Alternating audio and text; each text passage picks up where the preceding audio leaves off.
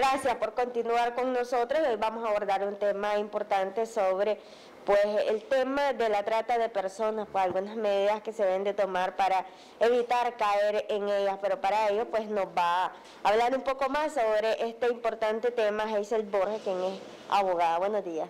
Muy buenos días, hola Darlene, ¿cómo está? Eh, un gusto estar acá.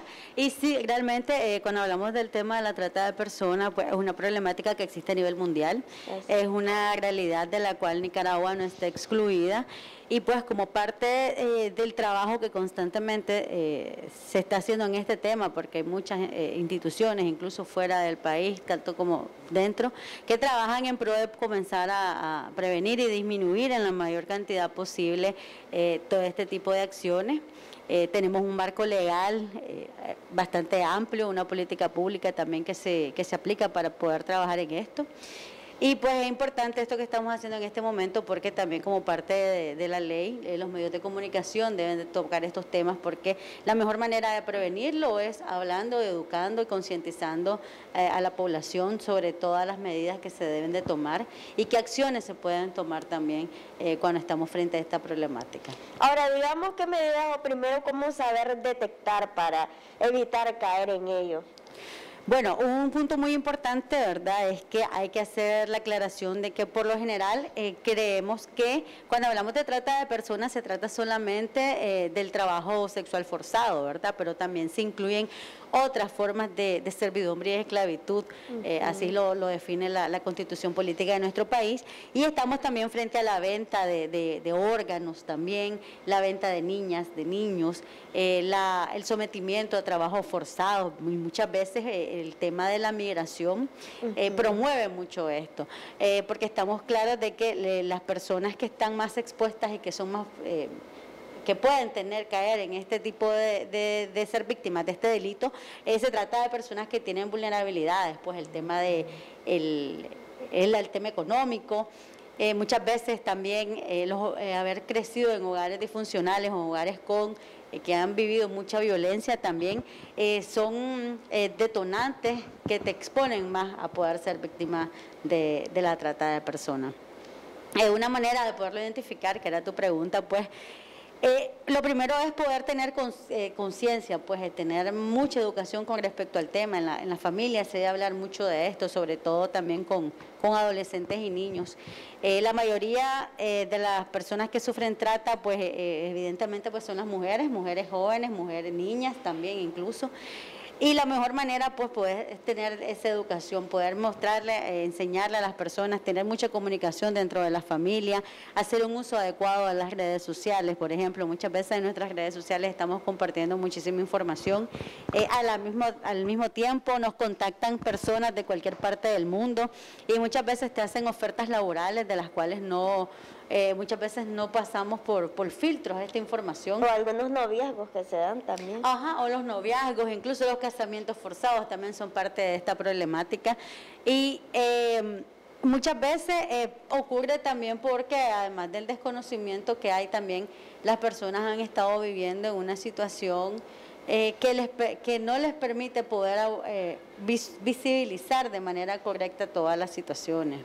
Digamos que en este caso em, las redes sociales de una u otra manera no haciéndole buen uso porque la red social pues puedes hacer lo que quieras dependiendo también de lo que vos veas para bien o para mal, pero en este caso ha venido como a facilitar un poco, digamos, ese mecanismo de la trata de personas que se esté dando con mayor frecuencia? Sí, claro que sí, porque al estar en contacto con cualquier persona en el mundo es más fácil que alguien comience a entablar una amistad, comience a, a decirte que si estás buscando trabajo te pueden ayudarte, que eh, incluso te dan información a, lo mejor hasta bastante fidedigna, pero también hay muchos métodos para poder hacer verificación de las ofertas laborales, por ejemplo. Eh, en las redes sociales, eh, muchas veces cuando estamos de viaje, otra situación que se da mucho es que mientras estamos de viaje en tiempo real estamos compartiendo qué lugares estamos visitando, dónde nos encontramos, qué estamos haciendo. Entonces eso también hace que sea un poco más fácil estar expuesto a, este delito. Por otro lado, también muchas veces eh, dentro de nuestras redes sociales brindamos información sobre dónde ubicarnos, incluso fuera de Internet. Eh, muchas veces eh, los padres de familia cuando hacen fotos de sus hijos, cuando van a la escuela, eh, y las suben a las redes, se muestra, lo, es importante tapar el, nombre del colegio al que asisten los hijos, porque también es otra manera en cómo te pueden identificar, cómo te pueden encontrar, eh, tapar este, placas de, de vehículos, ser más cuidadosos con la información que estamos compartiendo a través del Internet. Ahora, digamos en este caso, vos decís algo importante, ser cuidadoso, pero digamos qué tipo de método puede utilizar la persona para decir eh, o darse cuenta que tal vez no es real lo que está buscando, por ejemplo, el empleo, tal vez que está en peligro de caer pues, a la trata de personas. Pues bueno, una cosa muy importante es que, ¿verdad? Eh, es el tema de que también usar la idea de que lo que se ve fácil, al final pues no. siempre llevar esa duda. hay, un dicho popular para eso. Y pues eso es lo importante, cuando te muestran un plan de, trabajo un plan de vida que se ve demasiado fácil, solo tenés que y que no vas a invertir nada de dinero, que solo tenés que hacer estas cosas. Es importante también comunicarlo, tener una buena comunicación dentro de la familia, porque también el eh, poder compartir todo esto con otra persona, una persona adulta, también te da luces o pueden ver de qué manera, pueden decir, pues mira, esto yo no lo veo bien, esto yo lo veo sospechoso. Eh, también eh, se puede comunicar uno eh, con, la, con, si te están ofreciendo un, un, tipo de trabajo, tratar de comunicarse en el país de origen, pues porque muchas veces ver si, si existe la empresa, ver si realmente existe el lugar donde te quieren llevar, la, la dirección, e incluso el dentro de los, con los Dentro de los sitios consulares eh, también se puede hacer esa gestión, se puede buscar la información, se puede llamar a, los consulados de Nicaragua en diferentes países para poder decir, miren, me están ofreciendo este trabajo. Y ellos pues como parte también de, lo que mandata el marco, legal de nuestro país y la, política pública que se creó para poderle dar mayor funcionamiento, eh, están en la obligación de para esos casos eh, poder brindar información. Otro punto muy importante es que también eh, esto es un trabajo que incluye a muchos sectores e instituciones, pues no solamente eh, la policía como tal o el Ministerio Público, sino que también tiene que ver con medios sociales, con organizaciones sociales que también trabajan en estos temas. Ahora, en este caso, digamos, hemos visto que en otros países, no sé si lo has leído, que las familias siempre pues viven reportando eh, se desapareció un familiar porque iba a una entrevista de trabajo. Eso, digamos, se da bastante, siempre tocan, digamos, estas personas que se dedican a la trata eh, a buscar esa debilidad, sobre todo el empleo.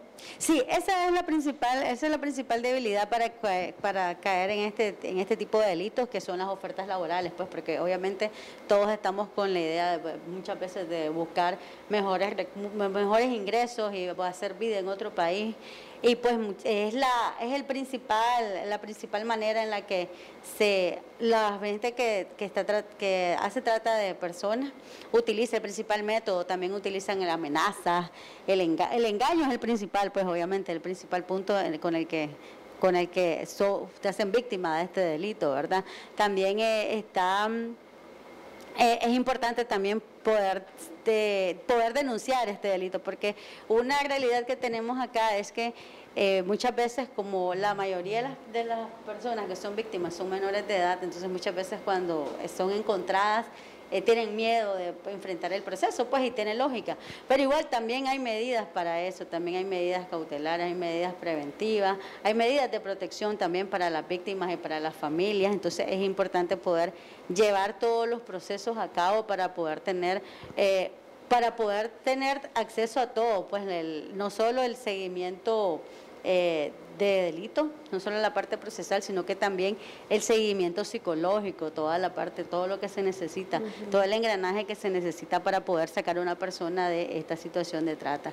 Es importante pues siempre poder seguir teniendo campañas, eh, los hoteles, eh, los lugares de todo lo que es el sector turismo también es un, sector muy importante en esto porque eh, están, ellos en la obligación también de que si ven o están en conocimiento de que está ocurriendo este delito en alguno de los de esos centros. En este caso, digamos, decir, ¿Qué se debe hacer, digamos, por parte de la familia? Debe de, haber mayor conciencia, eh, mayor educación, digamos, para esto. ¿Qué recomendaciones vos le das a, las familias para evitar, pues, caer en la trata de personas? La, en la familia, pues, muy importante siempre poder hacer conciencia y educar también a, a todos los miembros, poder hablar de este tema, hacerlo que es una realidad.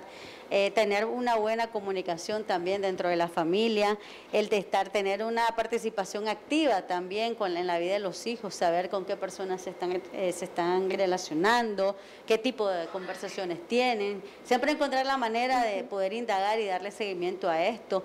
También, pues, eh, obviamente, en los, en los centros escolares también, la educación también siempre es importante. Y pues por supuesto poder, si lo que hacíamos énfasis en el uso de las redes sociales, hacer un uso correcto, eh, cuidar mucho la información que estamos compartiendo, cuidar mucho eh, nuestro perfil, nuestras ubicaciones, para que no poder, para no entrar y no poder estar vulnerables frente a este tipo de delitos. Bueno, ¿dónde te pueden localizar para un mayor asesoramiento?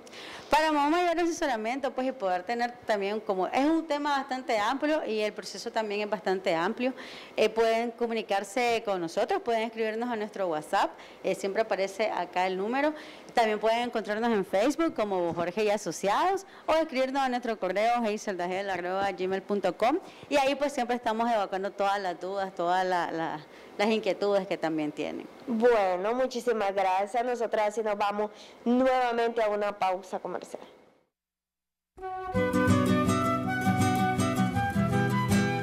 Reconocimientos, denuncias, quejas y sugerencias. Envíelas a Canal 12 Programa Buenos Días Nicaragua, Residencial Bolonia, o llámanos a los teléfonos 2266-0691, 2266-9983, 2266-9984. Escríbanos a nuestro correo electrónico canal12 arroba canal12.com.ni. Redes sociales, Facebook Noticias 12 Nicaragua, YouTube Canal 12 Nicaragua. Twitter, arroba Canal 12 Nic. Visita nuestro sitio web www.canal12.com.ni.